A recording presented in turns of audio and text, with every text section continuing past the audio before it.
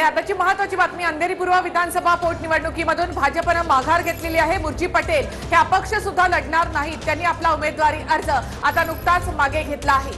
भाजपा प्रदेशाध्यक्ष चंद्रशेखर बावनकुळे यांनी ही मोठी घोषणा केली आहे. अंधेरी पूर्व विधानसभा निवडणुकीतून आता भाजपनं माघार घेतली आहे. मुरजी पटेल यांनी आपला उमेदवारी अर्ज देखील मागे घेतला आहे आणि मी अपक्ष लढणार नाही अशी घोषणा देखील आता मुरजी पटेल यांनी केली आहे. ठाकरे गटाच्या ऋतुजा लटके यांच्या विजयाचा मार्ग त्यामुळे आता मोकळा झालेला आहे. अंधेरी पूर्व विधानसभा पोटनिवडणूक आता बिनविरोध होत आहे. मुरजी मन- पटेल यांनी आपला उमेदवारी अर्ज मागे घेतलेला आहे.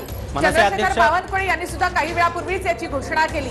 कालच राज ठाकरे आणि शरद पवार यांनी बिनविरोध निवडणूक व्हावी असं मत व्यक्त केलं होतं आणि त्यानंतर आज भाजपनं हा निर्णय घेतला निवडणूक भाजप लढणार नाही. आपल्यासोबत भाजपचे प्रदेशाध्यक्ष चंद्रशेखर बावनकुळे सर आहेत. सर काय सांगणार? मोठा निर्णय आहे भाजपचा.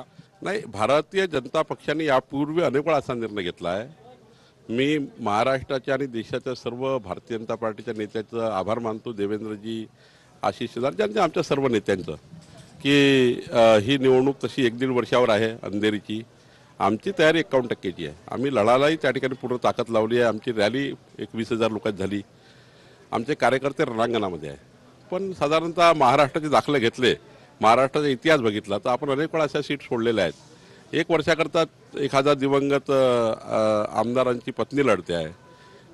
त्यांना खूप त्रास होऊ नये. राजकीय खूप त्या ठिकाणी आरोप प्रत्यारोपाच्या फैरी झळू नये. आणि म्हणून या ठिकाणी आपण विचार करतो साधारणतः की जसं आपण आर आर पाटील साहेबाच्या वेळेसही त्या ठिकाणी केलं जसं मध पिचड साहेबाच्या वेळेस केलं. तर मला वाटतं असे अनेक वेळा असं झालं आहे ठाकरे गट म्हणतात की भाजप हारणार होती म्हणून हे सगळं केलं आता त्यांना काही बोलू द्या. त्यांना महाराष्ट्राची संस्कृती विसरले असतील ते त्यांना तसं बोलू द्या पण आमची संस्कृती कायम आहे. अर्ज मागे घेण्यासाठी राज ठाकरेच्या पत्राची का वाट? नाही राज ठाकरेजींनी आपली भूमिका मांडली आहे. त्यांच्या पत्राचा काही फार संदर्भ नाही आहे. एक भूमिका आहे. त्या भूमिकेचा शरद पवार साहेबांनी मांडलं राज ठाकरे साहेबांनी मांडलं त्यांनी महाराष्ट्राची संस्कृती मांडली आहे. कधी ना कधी हा विषय येतोच मनात की एखाद्या आम दिवंगत आमदारांची पत्नी त्या ठिकाणी उभी आहे. तर त्यांना समर्थन केलं पाहिजे असं नेहमीच उदाहरणं आहेत. त्यामुळे केलं आहे. ग्रामपंचायत निकालामध्ये आतापर्यंत भाजप तर मुरजी